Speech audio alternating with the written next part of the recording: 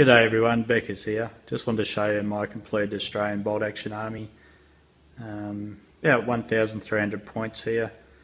Uh, themed on the 2nd 28th Battalion, 9th Australian Division at the time of the first Battle of El Alamein.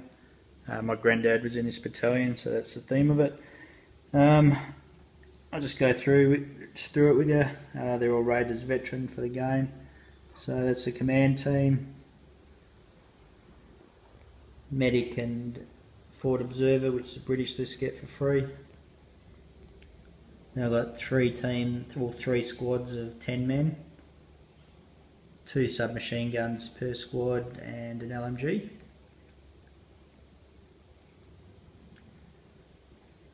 Uh, two pounder quick firing gun, anti tank gun. Humber Mark II with a uh, auto cannon 25 pounder gun with a spotter. Uh, Vickers medium machine gun. Medium mortar team with a spotter. Three camels as objective markers. Um, a, a Jeep with medium machine gun. Anti-tank rifle team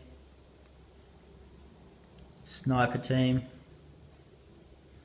It's a bit dark. I'm trying to get a better picture for you. And a uh, Crusader Mark II with two pounder gun for Australian Divisional Cavalry. Um, figures are mostly battle honours, 25 mil. Uh, a few Perry miniatures, not many, metal, because I don't like plastic. And a couple of assault group, uh, they were the snipers. Um, basically, I had to scratch build a sniper scope. Um, these are their 14th Army figures from their range. They're nice figures, really nice figures. Um, I should have grind the pockets off the the pants of the guys because Australians didn't wear British uh, uniform. They had their own. Um, so that's that's the army. Um, hopefully you can see it all right. It's a bit dark as I said and I'm using an Apple iPhone.